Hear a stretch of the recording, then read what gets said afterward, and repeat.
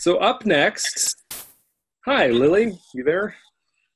Hi, I'm here. Can you hear me?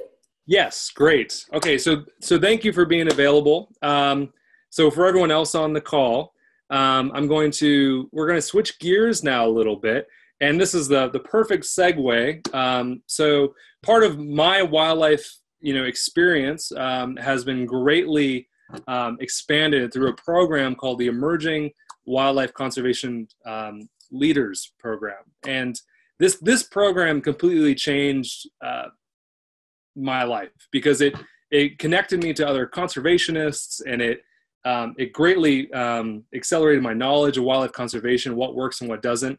And through this um, two year long program, uh, I, I, greatly learned so much and uh, definitely uh, increased my frog saving abilities. But that was two years ago, uh, or maybe three years ago now. And now there is a new cohort who we're joined by uh, Lily Maynard um, that is now um, going to be talking about this program and how this program and Save the Frogs are actually working together. And I'll leave it with you right now, and then we can share your presentation. So let me know when you want me to get that started. Great. Thanks, Michael. And I'm thrilled to be here. I don't know if you guys can see me. I mostly see Michael right now, but I'm figuring this out. Um, like you said, my name is Lily Maynard, and I'm thrilled to be the representative for a team of conservationists that are working on a new project for amphibian conservation in partnership with Michael and Save the Frogs. And so we're really excited to be halfway through our cohort with this Emerging Wildlife Conservation Leaders Program. And I'm excited to be able to start the launch and promotion of a project that's going to be rolling out later this year and hope that everyone watching or people who are going to watch this video later might find some interest to join us in the work. So um, Michael, I don't know if you are the one in charge of sharing screens. I actually, so you'll see that you can share your screen. Okay. Um, and it should be able to go. Um, yeah, and if there are any questions, do you want me to let you know, or do you want to answer questions at the end? Um, it might be easier to answer at the end, but I honestly, it's informal. So anyone, if you have an a, a question or an idea that comes up along the way, feel free to shout out. Okay, great. I'll watch the comments and yeah, thank you so much. Of course. Thanks for having us and having me to represent the team. Um, i shared the screen. Does, can everybody see it? Can you see it, Michael? It looks great. Yeah. Great. Uh, like I said, I'm excited to represent a team of conservationists with the Emerging Wildlife Conservation Leaders Program. Our project is looking at how F is for frogs in decline. That's our play on words for thinking about the failing grade that some frogs and amphibians are having as they are becoming more and more endangered. So we are developing a project to engage new audiences, which we're calling the Amphibian Report Card. But first, just so you understand, um, I don't know if I should minimize. Can, can you see it all now, Michael? Yeah, it looks good. Okay. Um, first I want to introduce what is EWCL. Like Michael said, he was in the last cohort. I'm in the current cohort for the Emerging Wildlife Conservation Leaders Leadership Training Program. It's for current professional conservationists to gain new skills and abilities to increase their competence and skill sets for promoting and creating new conservation projects. So my team of six people, we're all working on an amphibian conservation project that's all new to us. And we're coming from diverse backgrounds and varied locations as well. Most of us are located throughout the US, but we also have a team member all the way in Rwanda. So it makes it really fun and diverse to have so many different people working with us to figure out and how to contribute to save and support imperiled amphibians. We have very different backgrounds and professional um, interests, but we're really excited to be working on this project and as a part of the Emerging Wildlife Conservation Leaders Program, or EWCL. I'm trying to go to the next slide and it's not. There. Um, so EWCL is also, this project is also happening in, through a collaboration with several partners and funders, including Save the Frogs, hence why we're participating in this webinar today, where I'm excited that we get to be a part of it to first be the first time that we launch and start talking about this effort. We're also partnered with the Foundation for the Conservation of Salamanders. And the scope of our project is looking at how we can support amphibians across the board in the US. So I'm really excited that we have two complementary organizations that are helping us gain expertise and relevance and work on this project with Save the Frogs and the Foundation for the Conservation of Salamanders. Our work for this project also includes getting expert input from several different amphibian researchers and conservationists and organizations. And it wouldn't be possible without the generous support of the SeaWorld and Busch Gardens Conservation Fund. So I just want to thank them as well for making this project happen. When we started this project a year ago, we realized that and observed a problem that we thought we could try to help. We noticed that a lot of, and most conservation efforts are zoomed in and focused on single species or regions, or even just a pocket of a population of a species. And while that very on the ground context is important for having big impact, we wanted to know if we could look at a broader scope and have a larger opportunity for bigger impact to address the issues that are happening across amphibian species. When we look at that, we see that there are a lot of efforts that are focused on those single species or regions, and thus a lot of very limited reach for how people get engaged in the projects. And so then there's a disconnect between the research and how the public get involved, or it's unclear how the public can get involved for these broad issues, but and broad threats, but very limited or singular projects. So we wanted to find a way to connect and increase connections between different projects through looking at how threats are the same across species. We also noticed one other problem, that the, the public and public audiences are often disconnected. With so many amphibian species and their organizations and researchers demanding attention or asking for help, it can be very overwhelming for the public and that can lead to a big barrier for people getting involved. So we wanted to figure out a way to connect across experts and organizations for the threats that they face and provide a way for the public to get involved. So we asked ourselves, how do we zoom out? How do we look at issues across the US and connect the public to these urgent needs for the amphibians? And we wanted to really be sure that we would meet the public where they are and use language that is understandable to them rather than forcing public audiences or people who are just a little bit interested to become scientists because that could be another barrier that can prevent people from getting involved. We wanted to find also action opportunities where people can feel that they're making a difference rather than just think, finding more information. We wanted to really connect ways people can join in and help take action for amphibians. So these were the big goals that we came up with when we started this project, and I'm really excited we're making progress in bridging this gap by creating a new website that's in the works right now called the Amphibian Report Card. The purpose of this project is multifaceted. We are, like I said, we really, first of all, are trying to educate public audiences about the plight of amphibians and how urgent the need is to get involved. But we're really directly connecting that with engagement opportunities and advocating for people to get involved and active on behalf of amphibians. But additionally, to this public um, engagement, we want to also be engaging experts on their species and providing an opportunity for experts who may work on the same species in different areas to have a new framework for potential collaboration and cohesiveness.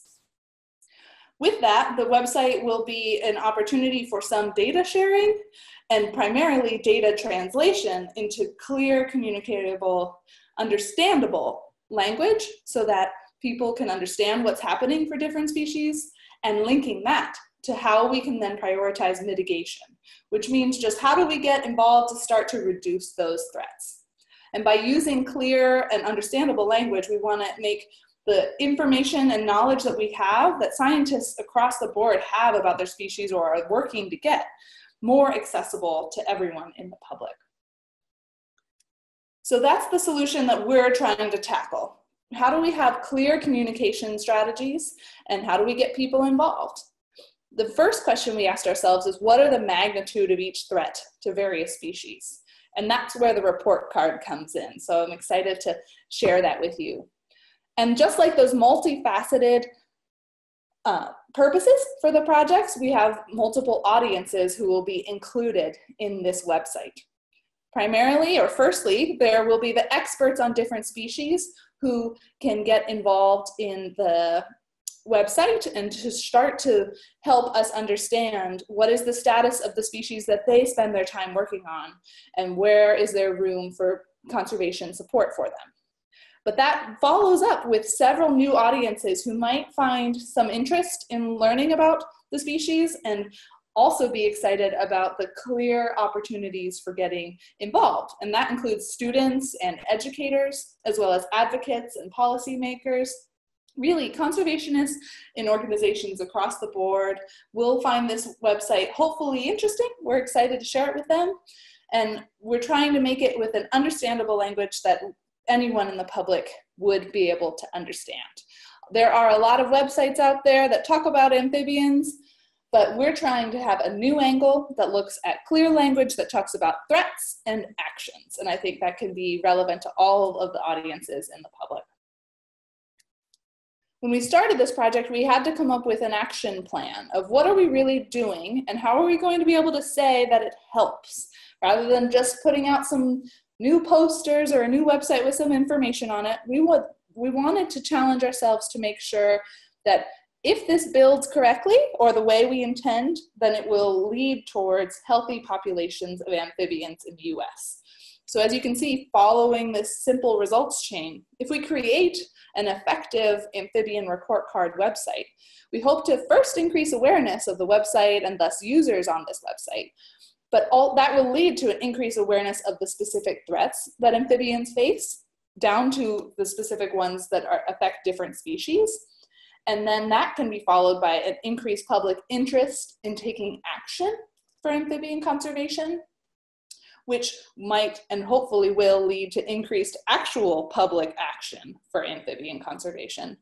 And so that will then reduce the threats that amphibians in the US face, which will hopefully lead to more healthy populations of amphibians in the US. And so that's the plan we came up with, and we're excited about it and I'll want to dive more deeply into what the website involves. The website format includes right now, that you can see the logo up on the left, the amphibian report card website. And on the website, we will be able to search for different species and look at the current status of the threats that they face. And they get, every species gets a report card. And so based on how severe the threats are, they might get um, a worse and worse grade.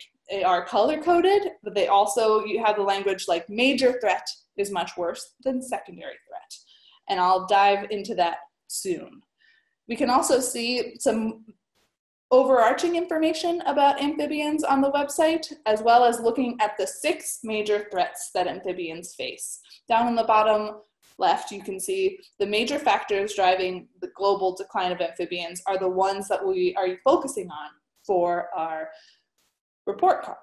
Also, the website involves an important feature that experts and researchers working on different species can log in and update the information about their species in order to keep it up to date and as accurate as possible based on their most recent findings or based on hopefully positive turnout for if more people get involved, those species statuses will improve. And so their grades will also improve. The major features of the website um, include the report card for each species, where we identify one of the, all of the six major threats and give a grade for each. And then we link those to mitigation options that anyone can get involved in such as community conservation or related conservation projects or in events, different work of different experts and organizations who are working on these species. We can highlight the current work of the experts who log in and share the information that they have that's the most up to date and also use that as a action opportunity for other people in the same area to start to get involved. One major emphasis we really have is that you don't have to be an expert to really use our website, it's going to be clear and understandable using color coding and grades. And so looking a little more deeply at the grades, like I said, there's six major threats that we're focused on. Habitat loss, climate change, pollution, overharvesting and trade, invasive species, and disease. And each of these, for every species that, of amphibian, will get a grade. And you'll see that they'll be color coded like they are on the right, and they'll be given a, le a letter, just like we get on our grades or report cards growing up. And so, no matter who you are, we can understand that an F is very different than an A. And so, depending on if there's a major threat or a secondary threat for one species, those can then identify the areas that need help for that species to help them turn around and get better grades. So that those are the action opportunities that we need to find to support the species. In order to develop the report cards, we need expert input, and that's what we've been working on recently with what we're calling is the amphibian report card generator, or a simple series of questions that help us understand the status of species rather than digging through research articles or bothering every expert for long interviews. We have a simple series of questions that we're asking to be able to understand what is the, the status of climate change projections affecting your species that you work on, or invasive species, or pollution, all through the six different major threats. And by talking with the experts with this simple generator series of questions, we can get also the action opportunities that they see is most accessible for the species that they work on. And then we can have a better understanding uh, how to create an accurate report card for that species based on what the current experts who directly work with that species say. We're also getting a lot of help from experts just around creating the website, how we're creating these outreach methods, how we've designed the graphic design and logos and the threat logos, as well as the development of the structure of the website.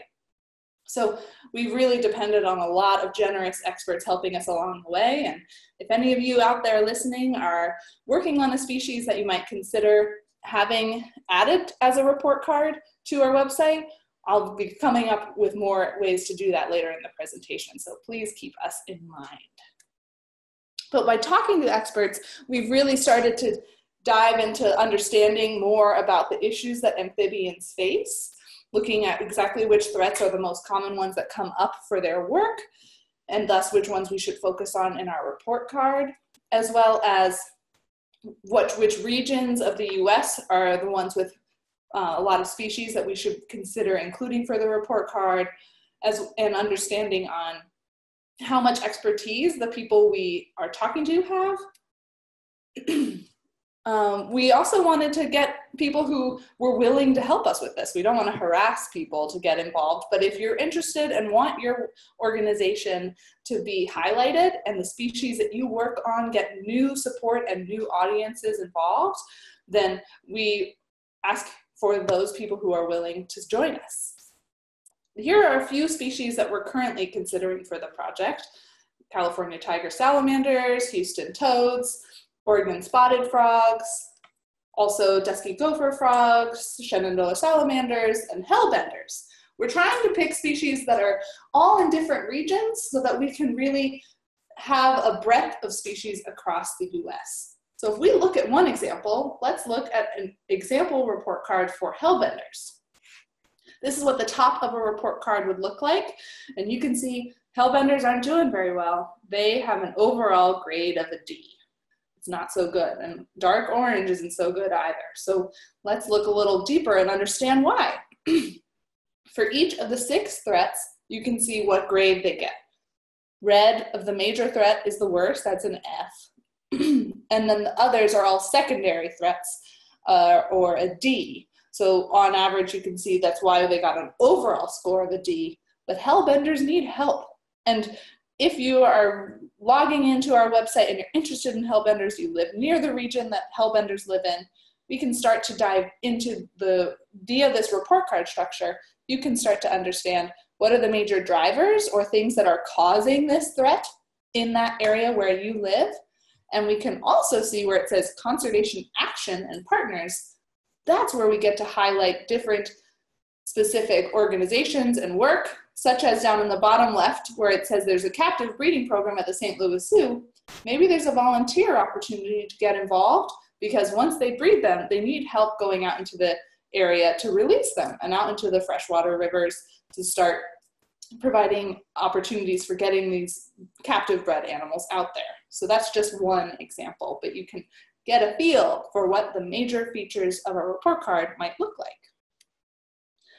Also, at the bottom of the report card, we'll include some of this information that people would find interesting if they get really intrigued by a species, such as about their population, the status of their habitat, other features of their natural history, and other major conservation challenges. This is the ma- this is commonly the features that are highlighted on other amphibian websites. But rather than having this at the top of the page where you see it first, we didn't want to lose people because we aren't sure that's the best way to engage. So we're excited that instead we have this clear report card for each of the threats that's color coded ways of giving grades. We hope you like it too because we're really excited about it. But after looking at those six threats and their scores, we then have links to take action. Just like there was a major threat for one of the threats for hellbenders, we want to then link that to opportunities where anyone can take action and help mitigate the threats to support amphibians. So just like you can see on this page, different ways we can get active and help these species. So let's look a little deeper at some of those. Anybody can support amphibian conservation, and we want to create this project to help share that, share those opportunities, and inspire anyone to get involved. First, for example, people can get involved via citizen science amphibian researchers really do need help. There's things like Frog, Frog Watch or different roadkill surveys. I've heard of projects help having people help salamanders cross roads so that they don't get run over. There's many different opportunities where you could get involved and all you have to do is use our website once we launch it in a few months and see what is in, happening in your area so that you can help those species. Additionally, there are other actions we can take, such as reducing chemical use, pesticides on your lawn. In the wintertime, if you live far up north where it freezes, salt on the roads can really build up over time, over months, and that can affect the environment for amphibians. Even the chemicals that we use in our household items might get into our waterways and thus affect amphibians. So that's a simple thing we can consider in how we make decisions every day. My apologies, Lily. Let me get you set back up. It's okay. Okay, please share your screen again. I'm so sorry for that. No worries. Any questions along the way, anybody?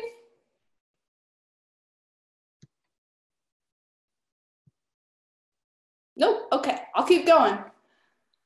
Is it sharing? No. There. There you go. Sorry about that. Thank you. No worries.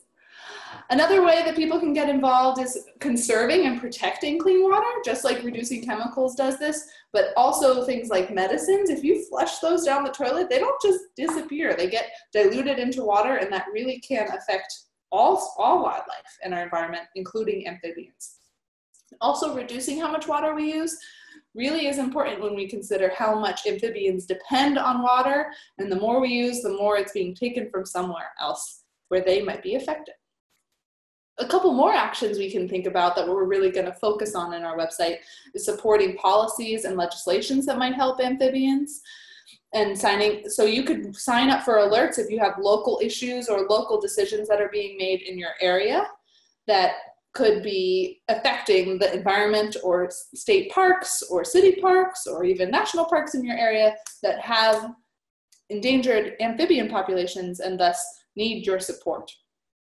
Finally, we really want to emphasize how invasive species, including people's pets, can be really negatively affecting amphibians because these invasive species sometimes eat amphibians or compete with them and they hurt those native populations or just the environment that the endangered amphibians depend on. And so those are other things that we need to consider as when we take action to support in general all amphibians. In addition to these general actions, when there's a specific opportunity to get involved with an organization, who's doing something like a cleanup of a wetland nearby to directly help a species in need, we will hopefully be able to advertise that on our website when we link to the organizations doing the great work for that species on that species report cards. We've had a few challenges along the way because we're new. We're new at creating websites and getting to know amphibian issues, so we're learning all along the way, and that's the point of us being involved in this project with the EWCL program. We are learning about how we can raise awareness about the report card and promote this website, and that's why we were so excited to be involved in this global webinar summit to be able to share this work with all of you. And we're hoping to be able to reach more experts and get more people involved so that the website can be sustainable, can continue to be updated so that it's really up to date and really clear that we have, we have understandable information that uh, can engage people to get involved. We're also working through the design of the website and funding, but we're making progress and really looking forward to, in the next few months, by the fall, we will have launched this website. So like I said, the next steps were creating and preparing report card metrics and data. We, I showed you the example of the Hellbender, but we're working on getting more website, more report cards ready for our website. And we want to start promoting the website, developing those pilot report cards, and working with our partners to really vet and improve all of the website before we eventually launch it. And so with that, we have an ask for any of you species experts out there, researchers, conservationists, hobbyists who work very in depth with their species.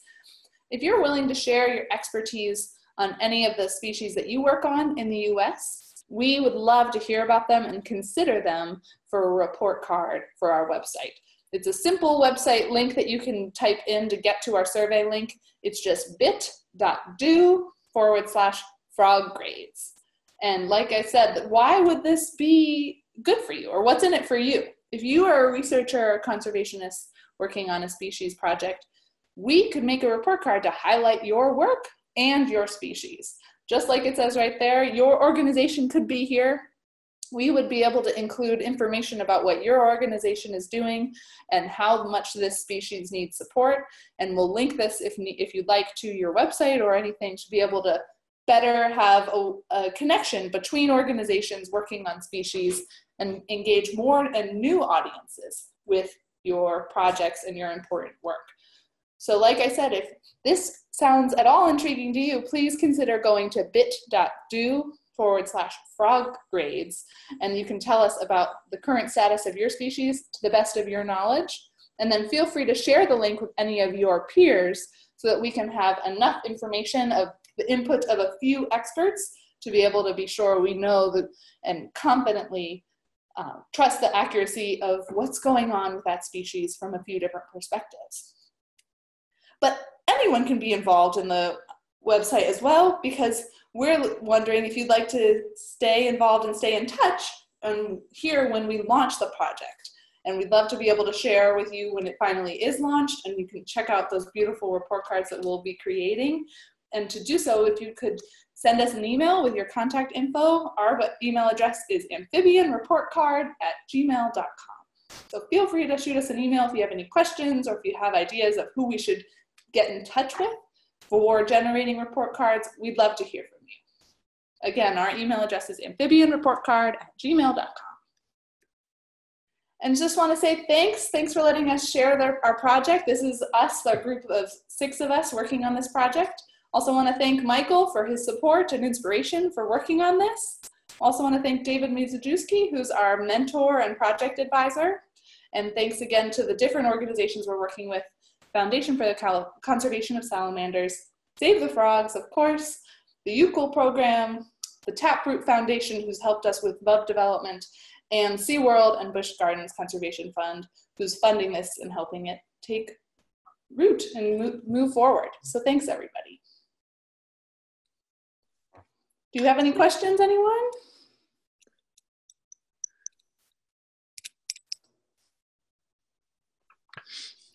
Yeah, thank you so much, Lily. That was uh, very enlightening, and it's a very cool uh, project.